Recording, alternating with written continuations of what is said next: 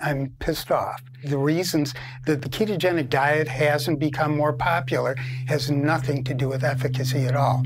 In the dietary guidelines for Americans, they recommend fewer calories, less fat, less saturated fat, less cholesterol. The history of science is full of commonsensical facts that turned out to be dead wrong when we did the science. The question remains what food should we eat to achieve good health? Less sugar, less salt, more fiber. You're telling people from different parts of the United States what to do, how to do it, and everyone's just throwing their hands up going, I'm going to do the best I can.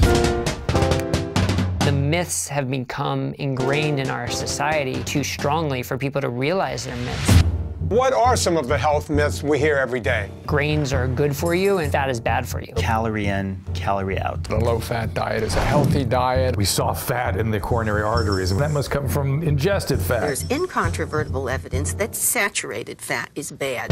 Like hot oil down a cold stovepipe, it would just clog up your arteries and give you a heart attack. It doesn't take long for media to pick up on these things, and we don't realize it's happening, but it's happening right in front of us. I'm getting bigger and bigger and bigger. And the bigger he gets, the harder his heart cells have to work. Mr. Fat, you're a real killer. I realized that we had gotten it completely upside down and backward on fat. Imagine someone who spent his whole career getting the wrong answer. When you look at the arteries of people who go on a ketogenic diet, they tend to be more clogged. Not only are you wrong, you're completely wrong. Imagine the press release you would have to write Dear American public, we're sorry if we killed prematurely your loved ones and your parents, and maybe we're killing you, but in retrospect, we shouldn't have given the advice we did. There are powerful forces at work that have nothing to do with good health.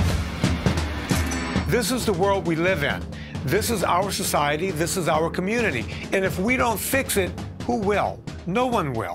If you think it's up to government, you're wrong. If you think it's up to industry, you're wrong. It's up to you.